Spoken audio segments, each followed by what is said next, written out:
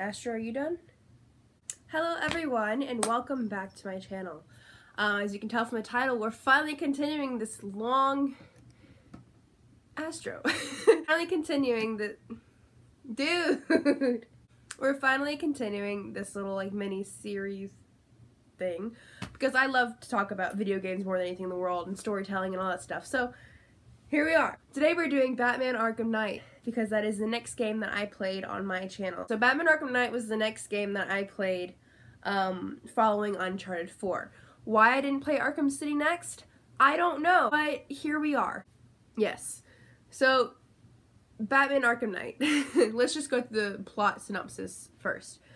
Or mine, at least. So, it takes place about a year after Batman Arkham City. If y'all don't already know, I don't know why you'd be watching this video if you didn't already know, Batman Arkham City in Batman Arkham City, the Joker dies. Um, spoiler alert. So basically, Batman Arkham Knight takes place a year after that, and Bruce slash Batman kind of regrets letting him die. And he does talk about that a little bit, it, but whatever. What happens, like, Gotham has had, like, pretty much, like, peace. Like, they've been chill ever since the Joker died because people don't know what to do with themselves, right? And so, randomly, the Scarecrow, which we haven't seen since Batman Arkham Asylum, which takes place, I think, like, three years before the start of Arkham Knight. I don't remember the timeline exactly, so I apologize for that. He threatens to kill the whole city. And he says, you can evacuate, but this is your only warning. Gotham, this is your only warning. And basically the whole city's bare except for all the bad guys. Batman has to figure out how to stop him, and he's working with this unknown character called the Arkham Knight, um, which you don't know who he is at the start of the game, you do at the end. Um, and I'll get into that more, trust me. Basically, you have to stop him before he destroys the whole city and all the people who are left in it.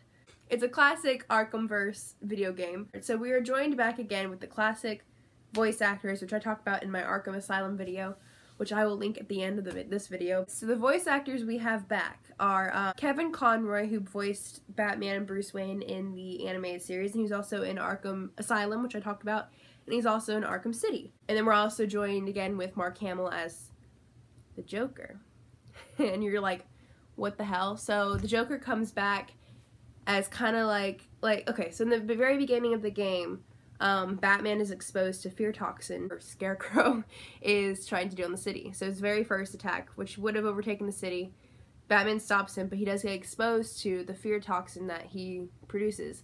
And in effect of that, or as an effect of that, whatever, I can't speak, he sees projections of the Joker, which is kind of like an embodiment of himself, he kind of sees as. It's complicated. This game is fun. it's a very classic Arkham verse game.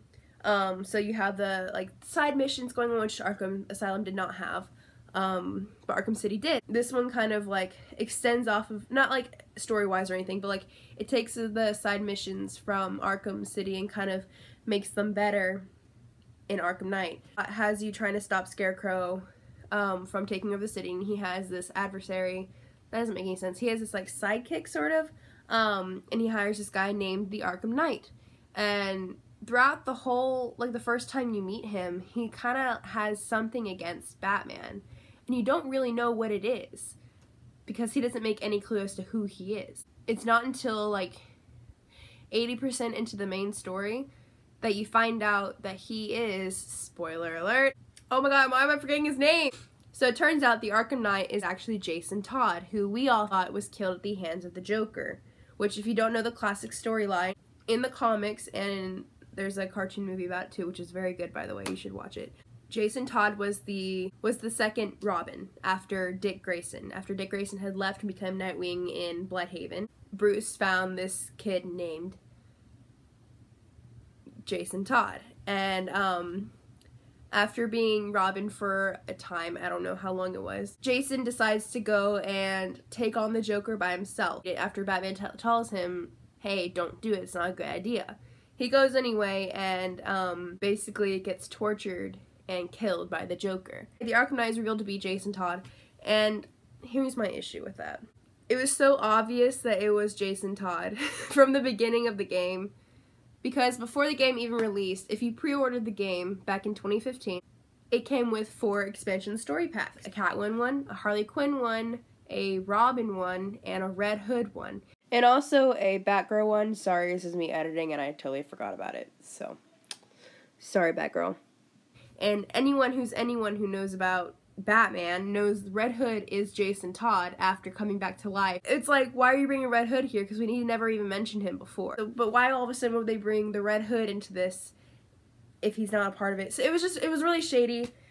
Um, and everyone's like, okay. And then this new character who was new for the games, because the Arkham Knight doesn't exist in the comic books at all, comes forward and is like, I'm the Arkham Knight. And it's like, it doesn't make any sense, you know? Because it kind of revealed what they were doing before the game even came out. And that just, it would have been a good twist. Other than that, the plot was okay. It was just a basic Arkham verse storyline, nothing really original. It kind of repeated Arkham City, honestly. But one of the cool new things that this game introduced um, was the Batmobile, which was a big deal at first.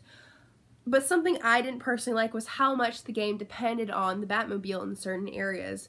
Like, there, you're probably in the Batmobile for the main missions for a good, like, half of the game, I think. I don't know if it's exact, but you know what I mean. And it's not, it's fun. The tank battles, I think, are fun. But near the end, it just kind of becomes like like the game's becoming dependent on it, and doesn't really make any sense. I don't know. I didn't really like that part of it. And the storyline again was rehashed as a pretending to be something new, and it really wasn't. But it did close up the whole like Arkham verse story together, if that makes sense. So they did a good job on the ending there. Yeah. So my overall rating of this game would be an 8 out of 10. And the only reason I do that is because, like I said like 20 seconds ago, they kind of rehashed the story of Arkham City a little bit, and the Batmobile wasn't really fun all the time. When you first get it, you feel so badass, but after being there and being as it forever, you're just like, okay, I'm done here. Now, overall, this is a fun game. It's fun to be a part of it. It's fun to be in Batman, voiced by Kevin Conroy dealing with the Joker somehow. I'm not going to reveal how that really happens. Well, I already did. Duh. This game is really fun, and if you like Batman at all, go for it. And the the game is physically beautiful. I don't know. The animation for it, I don't remember what it's called, sorry, is really beautiful and What? No? What? anyway, this is an overall good game, and I will. I don't really have anything bad to say about it. Just I wish they kind of revamp some things as a trilogy, but it's overall is a good game. I promise. So that's all I have for today. So thank y'all so much for watching this review. The next review coming out should be Arkham City, I think. I don't fucking know. Middle of editing all of my Spider-Man games, so those should be coming out one after another after another every couple of days or so um because my Wi-Fi sucks so sorry but yeah I hope y'all enjoyed this and let me know what y'all think in the comments below like and subscribe all that bullshit I don't fucking care y'all are awesome. Love y'all for watching. Um y'all are cool. Whatever. Um see y'all next time. So I can't wink. Oh my god. See y'all next time. Deuces